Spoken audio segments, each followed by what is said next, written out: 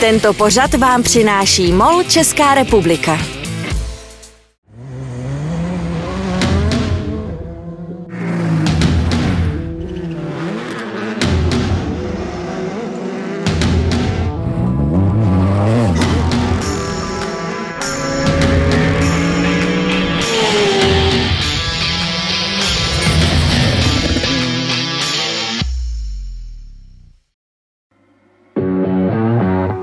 Zrádné podmínky, silné vzpomínky a překvapivé rozuzlení. To byla další zastávka mistrovství světa v relí v Chorvatsku. Také na jarní ceně Brna se psaly silné příběhy a v našem případě nešlo až tak úplně o ty závodní.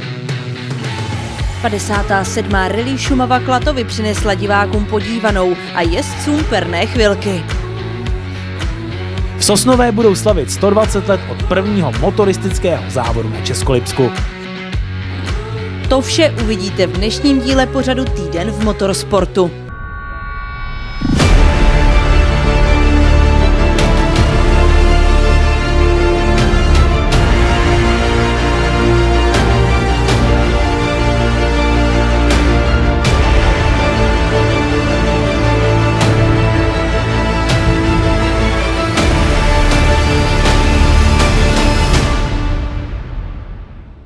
První čistě asfaltový podnik sezóny, který byl zařazen do seriálu VRC před dvěma lety, to je chorvatská rally.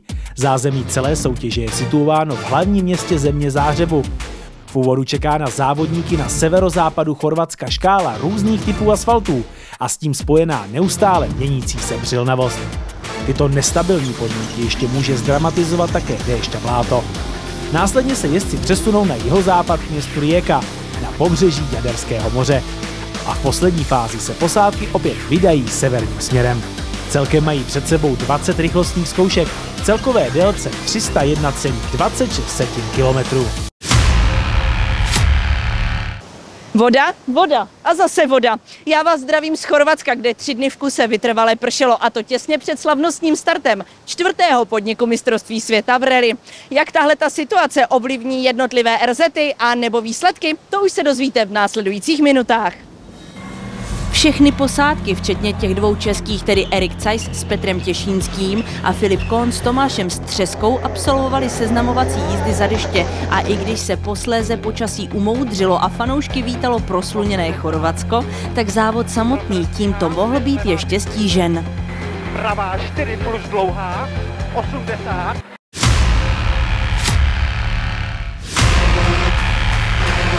A já si myslím, že ta, ta, ta cesta asi jako bude suchá, ale uh, ty katy a to bahno, to zůstane prostě mokré a bude se to vytahávat. To znamená, následně to začne být opravdu velmi, velmi, velmi uh, kluské a určitě to nebude jednoduché. To znamená, tady bude hodně o tom uh, takzvaně se dívat před sebe a leč hodně máme poznamenané v, v rozpisu, tak i oko se tady zapotí ty podmínky, jaké jsou při tréninku, tak ty, byly, ty jsou pro nás rozhodující, protože ty si pamatujeme, jakoby, jak to tam vypadalo a to, že už jakoby, to počasí je hezčí, lepší, vysklejší, tak to se člověk psychologicky jakoby, na to připraví daleko snáž, jo, než, než kdyby to bylo naopak.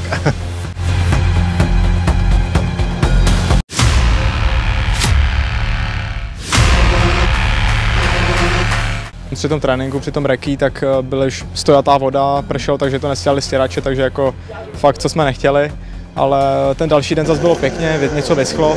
Samozřejmě v těch lesech eh, je to pořád prostě mokrý, ty katy jsou, jsou taky mokrý, takže to bude loterie na gumy a určitě to bude hodně těžký na řízení.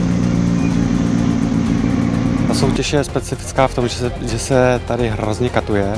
Na to nejsme, nejsme jakoby moc, moc zvyklí, nebo uh, nebyli jsme to, co jsme s Filipem po, po, po dosávat odjeli, tak, tak uh, jsou tam nějaké antikaty, nějaké takové překážky, které se většinou objíždí, tady se katuje v každé zatáčce, takže uh, chce to být trošku, trošku opatrný. Když to srovná s Čechama, kde máme zatáčku, rovinu, zatáčku, rovinu, tak to se tady moc neděje, to je zatáčka, zatáčka, zatáčka, zatáčka. Ve čtvrtek ráno a dopoledne je na mistrovství světa, jak už bývá dobrým zvykem, shakedown neboli testovací zkouška, která slouží k poslednímu nastavení vozidla pro danou soutěž. Zde si vítězství v kategorii VRC2 připsal na své konto Erik Zeiss, který potěšil nejen mnoho českých fanoušků.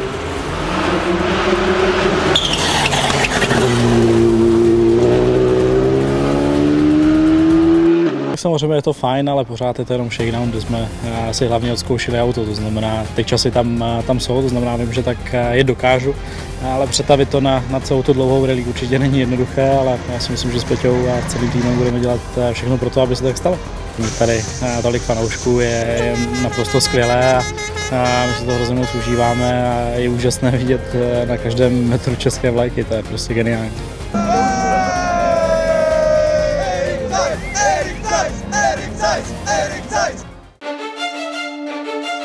Před slavnostním startem se celá reliová rodina sešla v zázemí závodu k uctění památky skvělého jezdce Craiga Brína. Tento 33-letý irský pilot debitoval v mistrovství světa v roce 2009 a absolvoval celkem 81 soutěží. V Chorvatsku při přípravách na svůj druhý start v sezóně zemřel při nehodě během testování. Všechny jezdce tato ztráta skvělého kamaráda a závodníka zasáhla a celá soutěž byla protknuta vzpomínkou na něj.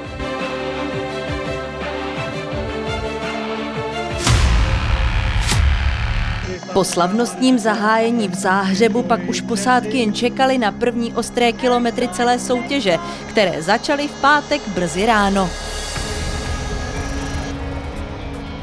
Před samotným čtvrtým podnikem mistrovství světa v rally, které se koná v Chorvatsku, jsme se museli vybavit a to samozřejmě i v rámci ubytování. A opět jsme využili firmu Flymeetu. Představte nám vlastně Flymeetu. Flymeetu je cestovní agentura, velmi jednoduše, která se zabývá eh, přesouváním sportovců a sportovních týmů a závodních týmů eh, z místa A do místa B momentálně, kde se ty závody jak vykonají. Je to taková vždycky složitá logistická operace, ale děláme to relativně dlouho, pohybujeme se v tom relativně dlouho a věřím, že to děláme správně. Potřeby našeho týmu byly jednoduché. Do Chorvatska jsme se přesunuli po vlastní ose a firma Fly Me nám zajistila ubytování. Páteční zahajovací sekci severozápadně od Záhřebu, kde byly situovány čtyři rychlostní zkoušky, které se po poledním servisu opakovaly, čekaly na jezdce opravdu náročné a nevyspytatelné podmínky. Už v úvodu měli všichni závodníci problém s přilnavostí povrchu. Doslova se prali s tím, aby své závodní speciály vůbec udrželi na silnici. A bohužel, oba dva české jezdci, jak Erika Cajse v kategorii VRC2, tak také Filipa Kóna ve VRC trojkách, tento až doslova extrémní stav potrápil.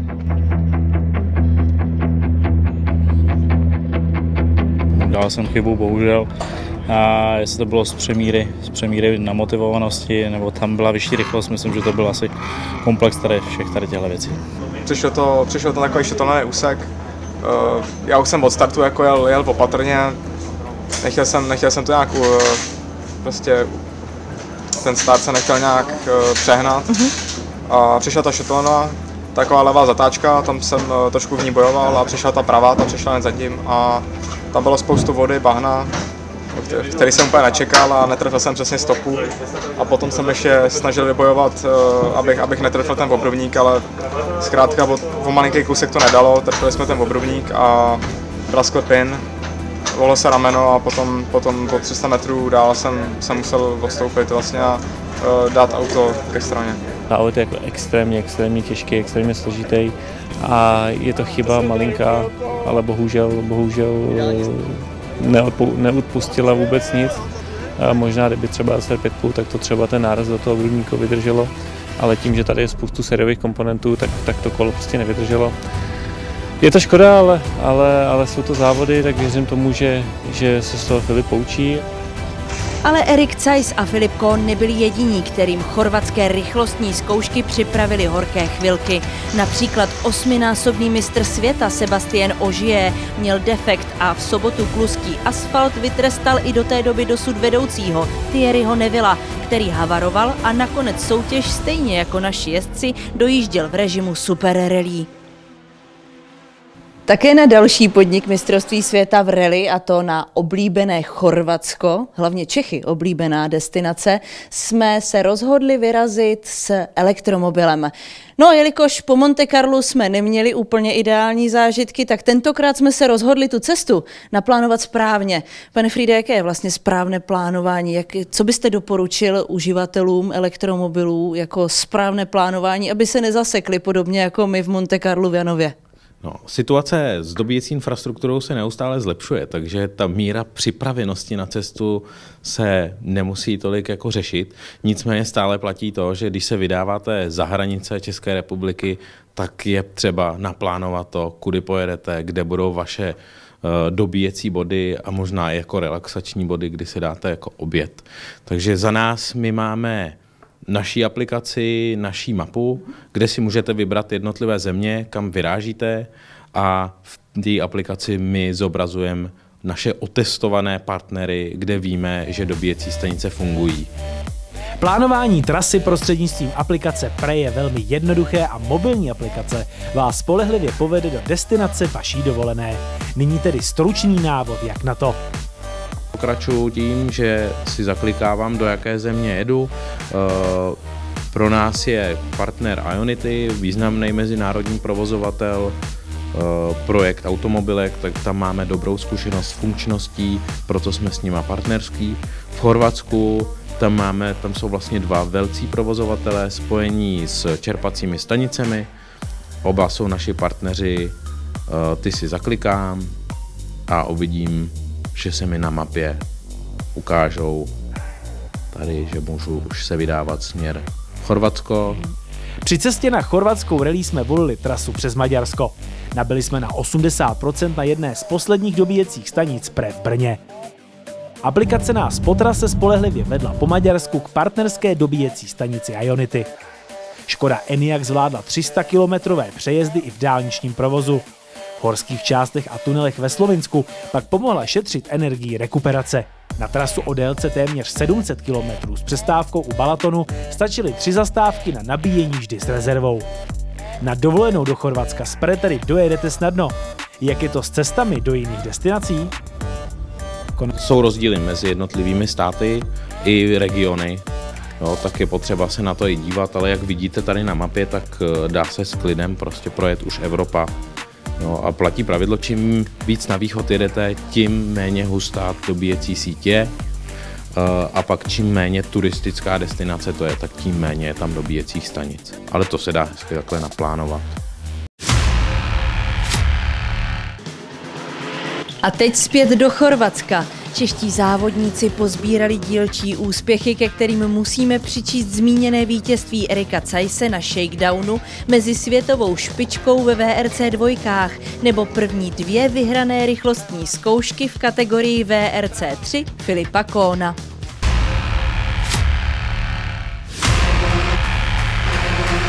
Tak eh, těch zkušeností určitě spoustu, naučil jsem se na bahně s tvrdýma gumama, uh, tak dělali jsme rezervu, spousta jako nových věcí, které jsem mě nedělal a určitě se cítím líp.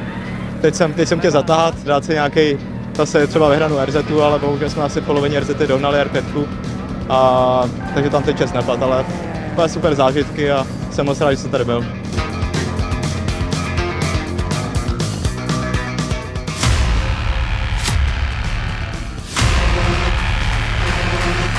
A ta rally, i když nebyla úplně vydařená, tak, tak byla obrovským přínosem a já bych chtěl poděkovat všem, kteří se na nás přijeli podívat a zároveň se omluvit trošičku za ten první den. A, ale i tak ta atmosféra byla absolutně neuvěřitelná. Moc za to děkuji, moc děkuji mému týmu, rodině, partnerům za to, že jsme tady mohli startovat a já se budu těšit dál. Nesmíme ale zapomenout na další posádky jedoucí stejně jako Erik Zeiss s ryze českými vozy. Na chorvatské rally obsadili jak nová Škoda Fabia RS Rally 2, tak také předchůdce tohoto modelu Škoda Fabia Rally 2 Evo většinu bodovaných pozic v kategorii VRC 2, když získali sedm míst v první desítce. Dosavadní vedoucí dvojice průběžného pořadí kategorie VRC2 Oliver Solberg s Eliotem Edmondsonem, kteří se rozhodli v Chorvatsku nebodovat, zajeli na třech RZách nejlepší časy ve své třídě.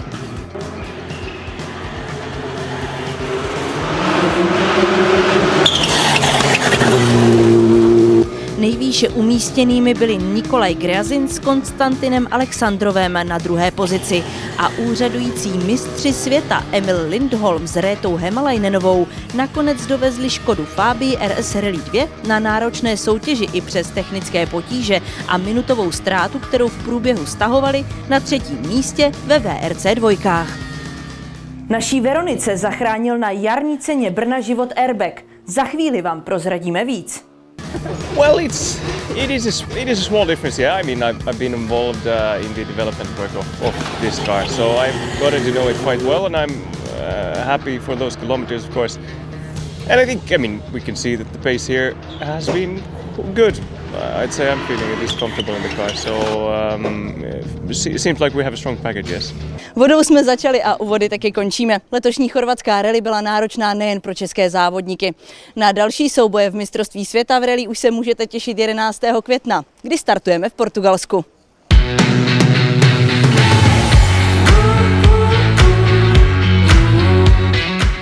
Jarnice na Brna. To je tradiční start sezóny motocyklů na přírodních okruzích. Závod letos přilákal téměř 300 jezdců ze 14 evropských zemí a do programu se po několikaleté pauze vrátil také International Sidecar Trophy. Naše kolegyně Veronika Hankociová měla také v plánu na automotodromu v Brně otevřít letošní sezónu. Stopku ji ale vystavila nehoda. Já jsem uh, si poprvé vlastně letos sedla na Yamahu R6, kterou jsem, musím říct, měla výborně nachystanou, naladěnou a uh, udělala jsem jednu zásadní svoji jezdeckou chybu, že jsem si říkala, že pojedu pomalu a že se jenom svezu, takže jsem nechala vlastně zadní kolo pneumatiku ještě z loňského roku a to byla vlastně ta největší chyba, takže jsem dostala klasický highsider. Naštěstí v tom jako nikdo jiný nefiguroval, byla to čistě moje jezdecká chyba, prostě vzala jsem být za plyn, uklouzlo to, vykopla mě motorka do vzduchu, no a v tu chvíli už si skoro nic nepamatuju. Veronika na sobě měla naštěstí v závodní kombinéze airbag, který doslova zachránil život. Po stažení dat bylo zjištěno, že airbag se na 100% nafoukl ještě před prvním nárazem. Celková doba od nárazu po zastavení byla 4,47 sekundy a při pádu Veroniky došlo k maximálnímu přetížení 26,6 G. Myslím si, že právě ten airbag mě hodně zachránil. Za prvé ten pád byl opravdu z velké výšky, a já, když jsem pak jako se dokutávala v tom kačírku a už jsem jako věděla, že mám něco s nohou, tak uh, jsem ale jako přemýšlela, jestli se vůbec ten airbag aktivoval. Já jsem to vůbec jako nepocítila, ale aktivoval se a musím říct, že myslím si, že díky tomu se mi vlastně v podstatě nic moc závažného nestalo, protože vlastně já mám zlom, zlomenou jenom zanátní kůstku, takže uh, dá se říct, že jsem z toho vyvázla ještě hodně dobře. Veronika podstoupila operaci zánártní kůstky. Jelikož je bojovnice, tak je po domluvě s lékaři rozhodnutá, že pokud půjde vše dobře, postaví se 20. května na start jubilejního 60. ročníku závodu 300 zatáček Gustava Havla v Hořicích. Za okamžik vám nabídneme to nejzajímavější ze 57. relí Šumava Klatovy.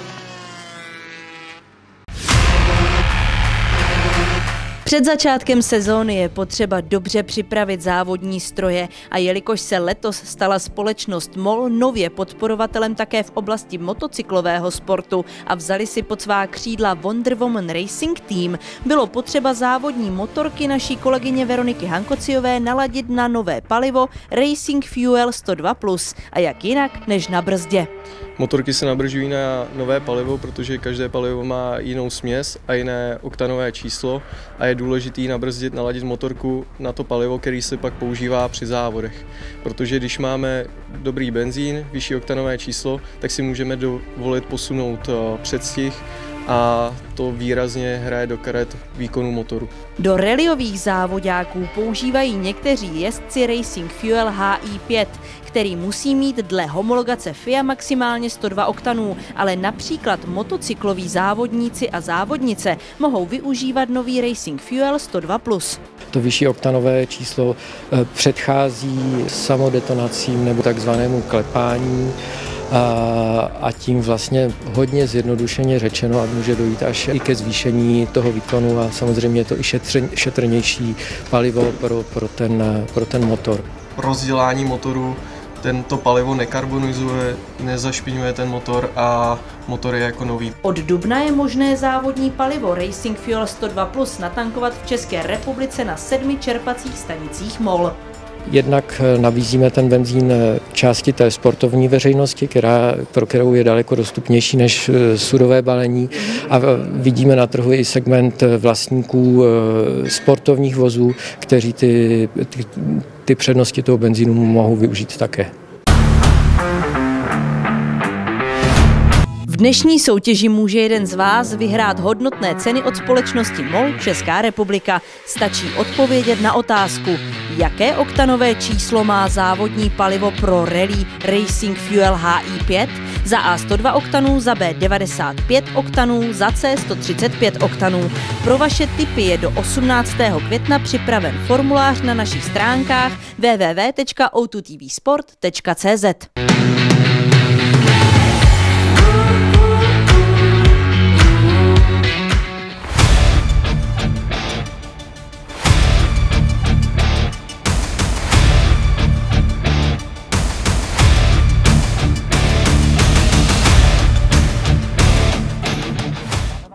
Krásné a těžké rychlostní zkoušky a souboje jezdců nechyběly ani na druhém. Podniku PSG mistrovství České republiky v relí. 57. relí Šumava Klatovy opět prověřila všechny posádky.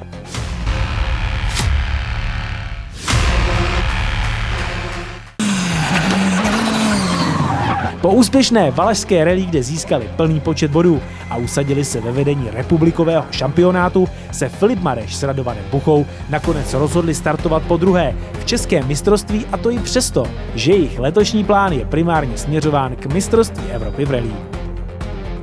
Jedné z těžkých partí sobotní rychlostní zkoušky Keply nedobrzdili kluskou odbočku a obřeh poškodili chlazení. Kluci z Brinda Racing a Severa Motorsport odvedli v servisu skvělou práci a Filip Mareš s Radovanem Buchou tak mohli v neděli soutěž dojet alespoň v režimu Super Rally.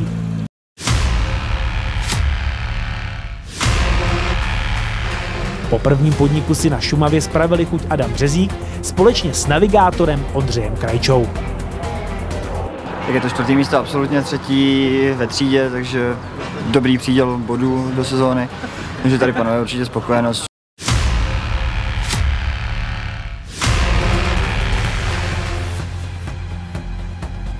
Také Dominik Stříteský s Jiřím Hovorkou mohli být po dojetí spokojeni.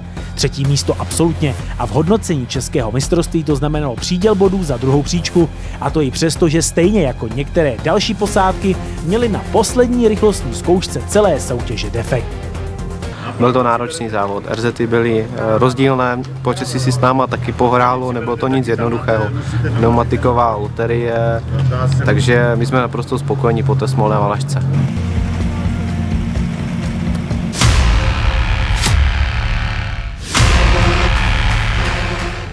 Vyrovnané souboje od samého začátku až po úplný závěr, tak přesně to předvedli posádky Václav Pek s Petrem Uhlem a Jan Kopecký s Janem Louškem.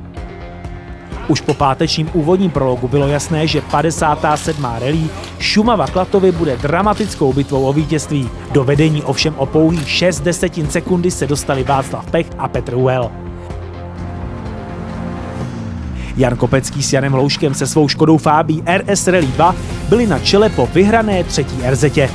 Ale nakonec plzeňská posádka Pech Uhel otočili zpět štěstěnu na svou stranu a vítězstvím na závěrečném testu zakončil letošní druhý podnik PSG mistrovství České republiky v rally vítězně. Václav Pech zde vyhrál už po šesté.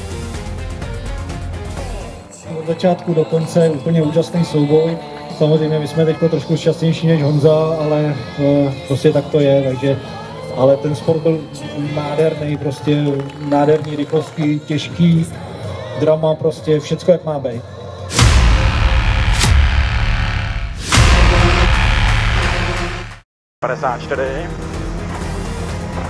Pravá 7 plus odboč za Samotné soutěži sice patřilo Janu Kopeckému s Janem Hlouškem druhé místo absolutně, ale především získali plný počet bodů a posouvají se tak do vedení v rámci průběžného hodnocení domácího šampionátu.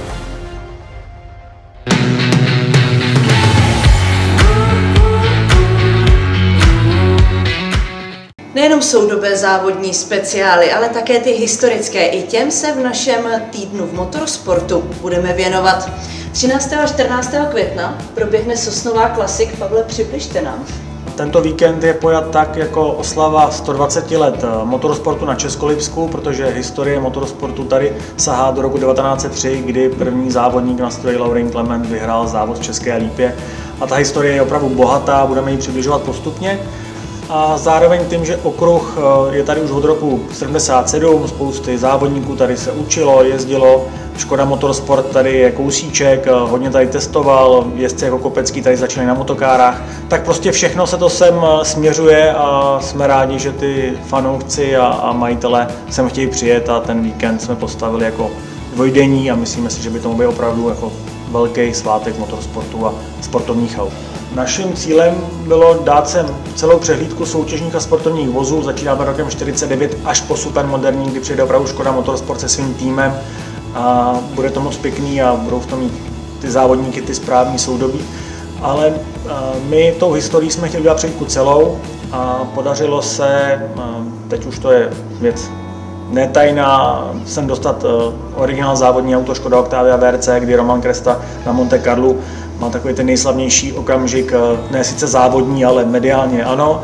A tohleto auto tady bude, bude v barvách Monte Carlo a bude, bude jezdit a myslím si, že pro ty fanoušky Octavia VRC a Fabia VRC, která tady bude taky, je to ten správný zvuk a ta správný jako adrenalin, který, když to auto prostě zapne všechny systémy a začne střílet, tak to je to správně pro ty fanoušky.